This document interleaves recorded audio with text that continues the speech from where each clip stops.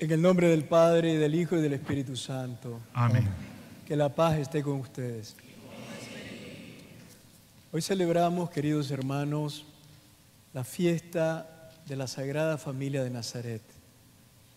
El misterio de Jesús que nace, crece, se educa, madura y llega a ser un hombre en el seno de una familia. Hoy volvemos los ojos de nuevo al misterio de la encarnación. Jesús ha querido ser tan igual a nosotros que también ha tenido una familia. Y viviendo y teniendo una familia, de alguna manera, todas las familias del mundo han quedado tocadas por la ternura de Dios. Y todas las familias del mundo tienen algo de sagrado y de divino. Dios quiso vivir en una familia. Esta es la fiesta que hoy celebramos, que es como una prolongación del misterio de la encarnación, de la Navidad, del Dios hecho hombre entre nosotros. Como ha dicho el Padre Marco, yo como nicaragüense celebro esta Eucaristía con un gran dolor en el corazón. Dos hermanos obispos nicaragüenses están injustamente encarcelado por la dictadura sandinista de Daniel Ortega y Rosario Murillo en Nicaragua. Y en estos últimos días, en una semana, 15 o más sacerdotes, ya hemos perdido la cuenta, han sido encarcelados. La mayoría de ellos de la arquidiócesis de Managua, sacerdotes de los que yo he sido obispo, pero además amigo, cercano.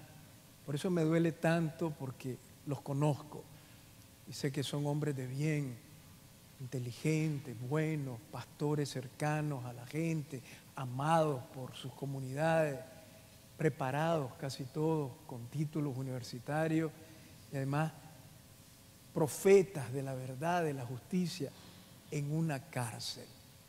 No son delincuentes, son hombres de Dios eso nos duele. Y le debe doler a toda la iglesia, porque la iglesia no tiene frontera. Te dirán, este habla porque es nicaragüense. La iglesia no tiene frontera, las fronteras las ponemos nosotros. Y la iglesia es católica. Todos somos la iglesia. Así que les ruego que pidamos por ellos, para que si todavía queda un poco, un poco de humanidad, en el corazón oscurecido y endurecido y en la mente maligna de los dictadores de Nicaragua recapaciten y puedan liberar a todos estos pastores. Hay comunidades como esta que no tienen misa hoy porque sus pastores están en la cárcel injustamente. Es terrible. Ha sido una cacería que todavía no se detiene. Pidamos por ello, unámonos. Somos la única iglesia de Cristo, la única iglesia de Jesús. Yo nunca pido que cese la persecución, que defienda, que respeten eh, eh, a los sacerdotes. No, no pido eso, porque Jesús nos anunció que íbamos a ser perseguidos. Y la persecución no es signo de debilidad de la iglesia, sino signo de vitalidad, signo de fortaleza. Una iglesia que no es perseguida, mala señal. Una iglesia que es amiga de los poderes de este mundo, mala señal. Una iglesia acomodada en la sociedad y enriquecida, mala señal. La iglesia tiene que ser como Jesús. Y Él murió en una cruz por ser fiel al proyecto de Dios, por proclamar la pasión por el ser humano y la compasión del Padre del cielo. Y así tiene que ser la iglesia. Les pido que oremos por estos sacerdotes, estos obispos y por toda la iglesia de Nicaragua, porque el pueblo está sufriendo. Hay algo que distingue a la iglesia de Nicaragua de muchas otras iglesias, y es que en Nicaragua la gente quiere mucho a los curas quieren mucho a los obispos. Los pastores somos excesivamente, amado. Los nicas somos exagerados por naturaleza. Y yo creo que nos quieren excesiva y eh, eh, eh, excesivamente, demasiado. Y el pueblo está sufriendo también. Bueno, oremos por ellos. Y le pedimos a Jesús, María y José en su fiesta, por la gran familia de Dios que es la iglesia.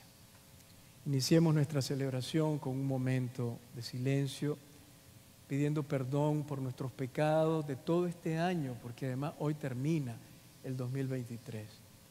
Pongamos en manos del Señor nuestros errores, nuestros fracasos, nuestra falla, todo aquello que, que no hemos hecho bien este año. Arrojémoslo en los brazos misericordiosos de Jesús y que quede ahí olvidado. El Señor no lleva cuenta de nuestros delitos. Mañana no va a cambiar nada, simplemente vamos a arrancar una hoja en el calendario, pero podemos cambiar por dentro. Es un cambio simbólico, el el de esta medianoche, no cambia nada. En realidad el tiempo es el mismo, pero este simbolismo nos puede ayudar a tomar decisiones nuevas y a cambiar actitudes, reorientar la vida, rectificar. Pidámosle perdón al Señor y preparémonos para iniciar mañana, primero de enero, de una forma diferente, de una forma más cercana al Evangelio, más parecida a Jesús. Pidamos perdón al Señor. El Señor esté con ustedes. con tu espíritu. Lectura del Santo Evangelio según San Lucas. Gloria a ti. Transcurrido el tiempo de la purificación de María, según la ley de Moisés, ella y José llevaron al niño a Jerusalén para presentarlo al Señor, de acuerdo con lo escrito en la ley. Todo primogénito varón será consagrado al Señor, y también para ofrecer, como dice la ley, un par de tórtolas o dos pichones. Vivía en Jerusalén un hombre llamado Simeón, varón justo y temeroso de Dios que aguardaba el consuelo de Israel. En él moraba el Espíritu Santo, el cual le había revelado que no moriría sin haber visto antes al Mesías del Señor. Movido por el Espíritu, fue al templo. Y cuando José y María entraban con el niño Jesús para cumplir con lo prescrito por la ley, Simeón lo tomó en brazos y bendijo a Dios diciendo, Señor, ya puedes dejar morir en paz a tu siervo, según lo que me habías prometido, porque mis ojos han visto a tu Salvador, al que has preparado para bien de todos los pueblos, luz que alumbra las naciones y gloria de tu pueblo Israel. El padre y la madre del niño estaban admirados de semejantes palabras.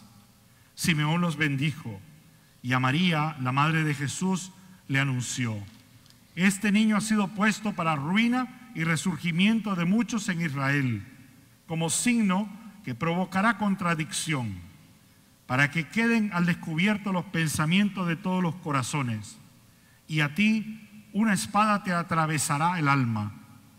Había también una profetisa, Ana, hija de Fanuel, de la tribu de Aser. Era una mujer muy anciana.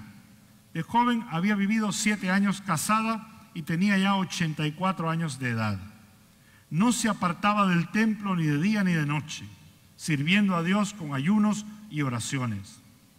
Ana se acercó en aquel momento, dando gracias a Dios y hablando del niño a todos los que aguardaban la liberación de Jerusalén. Una vez que José y María cumplieron todo lo que prescribía la ley del Señor, se volvieron a Galilea, a su ciudad de Nazaret. El niño iba creciendo y fortaleciéndose, se llenaba de sabiduría y la gracia de Dios estaba con él. Palabra del Señor.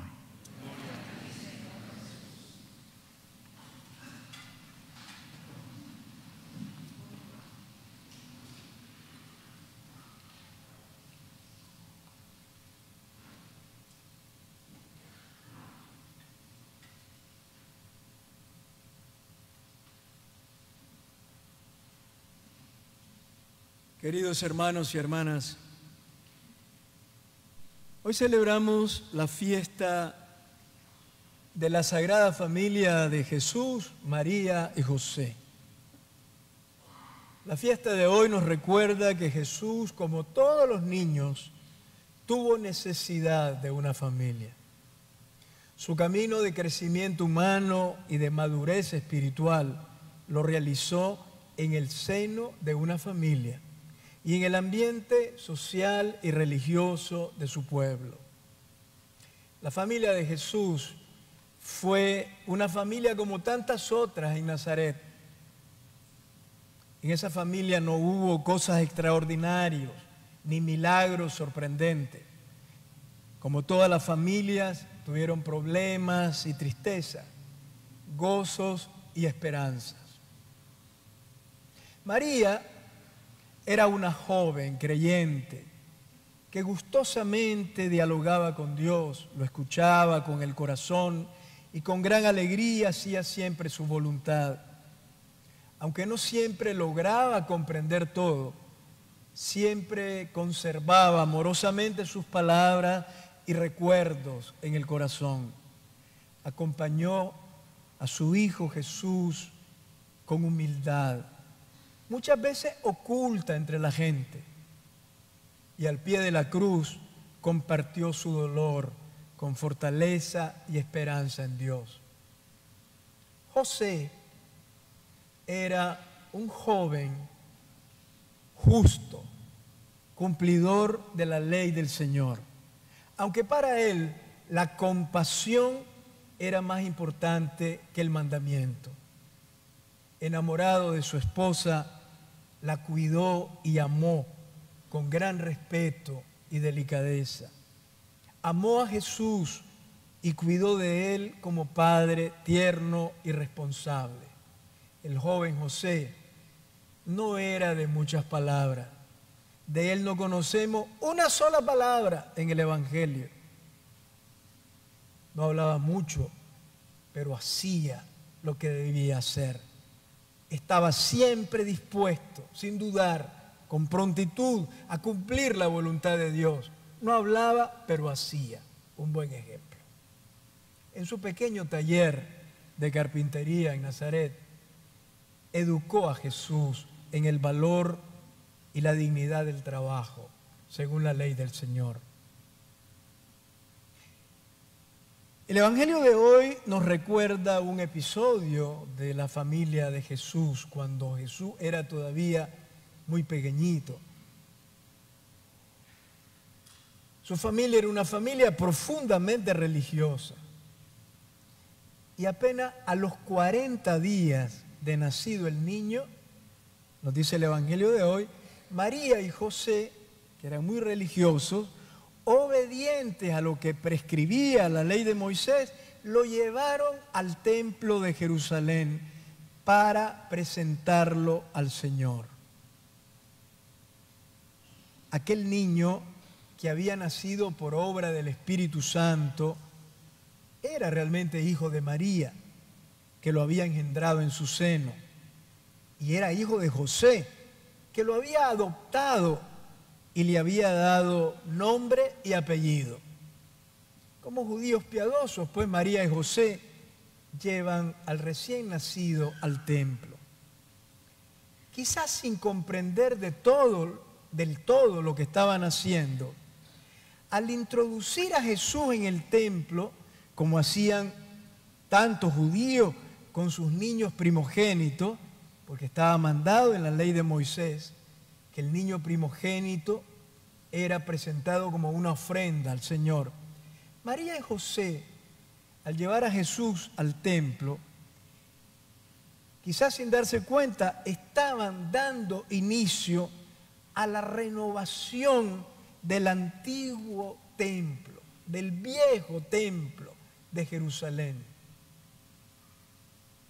con aquel pequeño gesto, sin darse cuenta, anunciaban que los templos ya no tenían valor. Que no son los templos los que nos introducen en la comunión con Dios, sino aquel que entraba por primera vez en el templo, Jesús, porque Él es la verdadera morada de Dios con los hombres. Él es el verdadero templo en el cual Dios y los seres humanos se encuentran y se encontrarán para siempre. No es venir al templo de modo automático el que nos introduce en la comunión con Dios, sino nuestra adhesión de fe, nuestra comunión de amor con Jesús.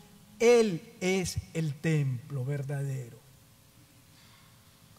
María y José, a la luz de este Evangelio, muestran que se preocuparon desde el inicio por introducir al niño Jesús en la vivencia de la fe de su pueblo.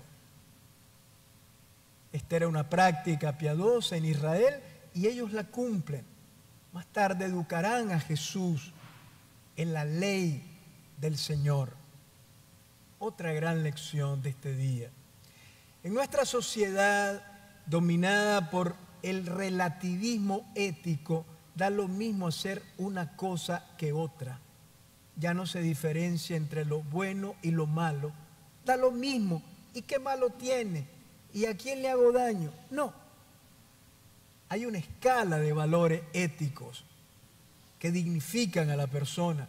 Y en nuestra sociedad se está perdiendo esto. Y entonces, hoy se hace aún más necesario que la familia sea un ambiente propicio que ayude a crecer en la fe. Los chicos los niños, los jóvenes, los adolescentes, las nuevas generaciones deben ser educadas, introducidas en los valores del Evangelio. Pero no solo a través del catecismo para que hagan la primera comunión, no solo a través del catecismo para que se confirmen, sino a través del testimonio de vida de los padres. Es misión de los padres de familia. La primera, como creyentes. Entusiasmar a sus hijos. Y uso el verbo entusiasmar, porque no se trata de enseñar, sino de contagiar lo que uno lleva en el corazón.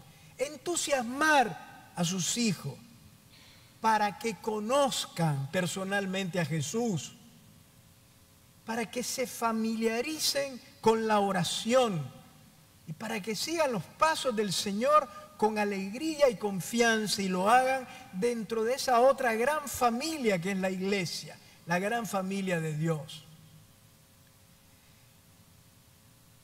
El día que José y María llevan al niño al templo, dice el Evangelio, que un hombre justo y piadoso, que no dice que fuera anciano, aunque las figuritas de los libros de religión lo presentan viejito a Simeón, no dice que fuera anciano, un hombre justo y piadoso, llamado Simeón, tomó al niño en sus brazos y le dijo a María, mira, este niño será causa de contradicción, de conflictos. Su presencia provocará enfrentamiento en la sociedad. Y de hecho así fue. Y a ti, le dijo a su madre, una espada te atravesará el alma. La familia de Nazaret no solo tuvo que afrontar problemas domésticos como todas las familias del pueblo, sino que desde el principio se vio introducida en un misterio de iniquidad, porque su hijo sería un signo de contradicción en medio de de un mundo de mentiras, de injusticia y de violencia. Y todo culminaría en la cruz, ahí cuando la espada atraviesa el corazón de su madre, María. Pero desde niño, desde muy pequeñito, Jesús fue causa de sufrimiento en aquella familia. Todos conocemos la historia de Herodes que mandó a matar a todos los niños de Belén. La arrogancia de un gobernante cruel y sanguinario. Y Jesús, María y José se vieron forzados al exilio. Tuvieron que irse a Egipto, a una tierra extranjera, con todas las dificultades que eso comporta. Allí tuvieron necesidad de comer, de encontrar una casa, de tener trabajo. Pareciera que la historia se repite. Porque lo que fue una pequeña tragedia en aquella humilde familia, hoy es un problema mundial, el problema de la migración. Y el problema de la migración a causa de situaciones de pobreza, de conflictos sociales y de gobernantes autoritarios y crueles. Y sigue el problema. Y no solamente provoca el exilio, pienso en este momento con dolor, en las familias que a causa de tiranos crueles viven con dolor la ausencia de algunos de sus familiares, o presos, o exiliados, o fallecidos. En el drama de las familias que se han tenido que separar, porque una parte de la familia ha tenido que irse fuera para sobrevivir. Ya la familia de Nazaret vivió el drama del exilio. La familia de Jesús fue una familia como muchas de las familias de nuestros países, que padecen la represión de los tiranos de turno o pasan grandes necesidades económicas. Muchas veces nuestras familias, como la de Jesús, también se ven obligadas a emigrar, arriesgando sus vidas para poder sobrevivir y trabajar duramente para salir adelante. Esto lo quiso asumir el mismo Dios en la carne del pequeño que había nacido en Belén.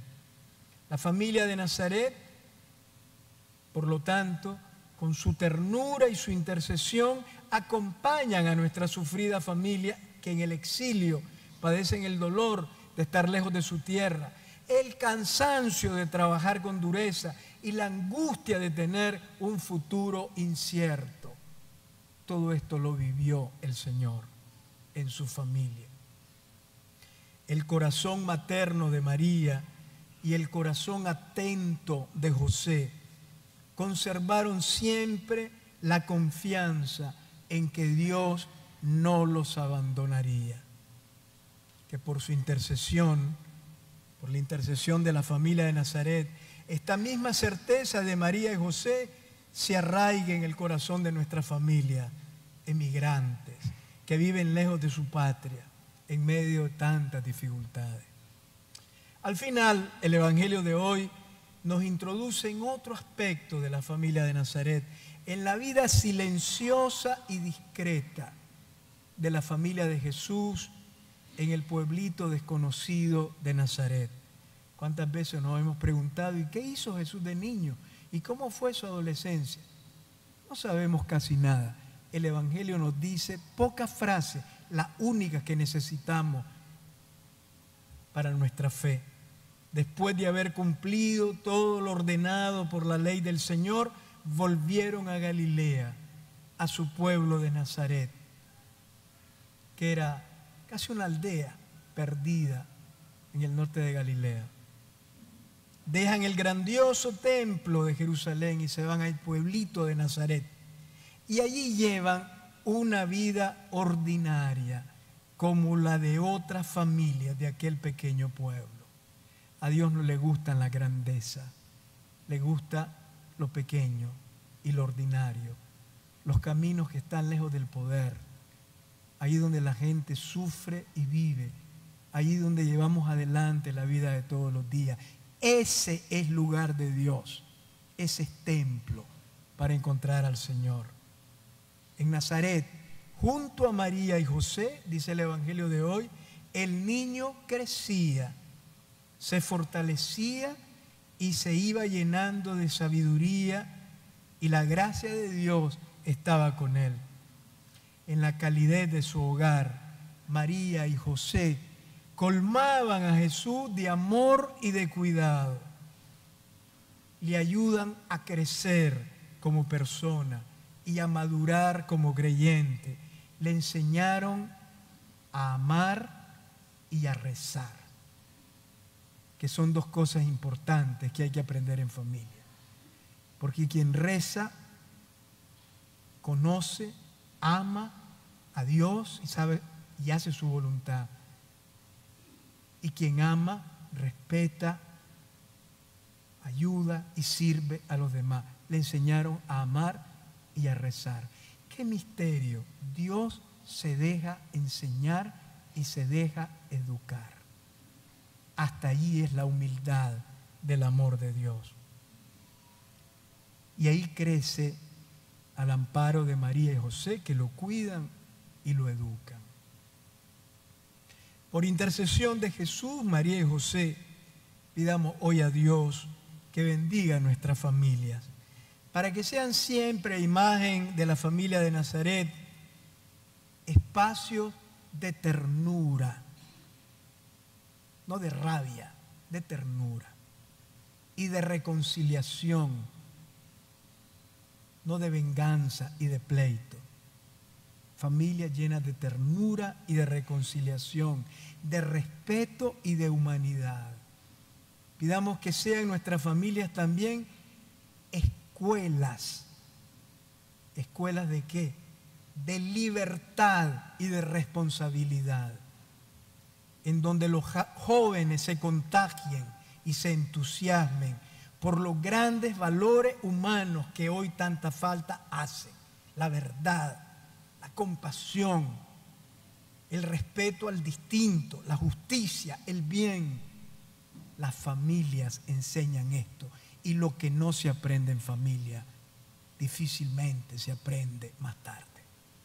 Que con la gracia de Dios nuestra familia sean sobre todo escuelas de fe, en donde se aprenda a rezar y a amar, a rezar, a confiar en la infinita bondad de Dios, a seguir a Jesús con entusiasmo, pero que en la familia también se enseñe a amar, es decir, a soñar, a luchar y a comprometerse en la construcción de un mundo más digno, más justo y más amable para todos. Amén.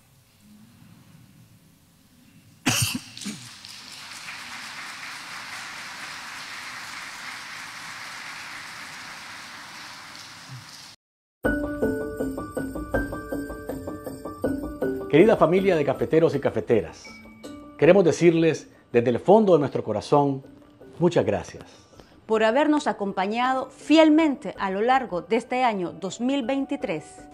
Por ser el motor que impulsa cada una de las ediciones del saborcito de estar informado. Gracias por suscribirse, sus me gustas, sus estrellas, superchats y su sintonía. Queremos desearles una bendecida Navidad y un mejor año 2024 y que el niño Jesús que nace reine en sus corazones.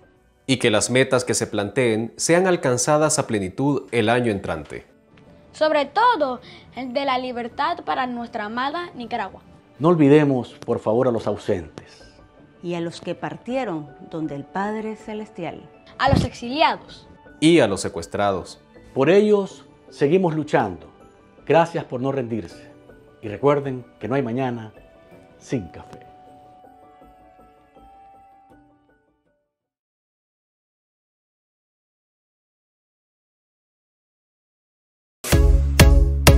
Si desea informarse de lo que pasa en Nicaragua y el mundo, visita nuestro sitio web www.cafeconvoz.com.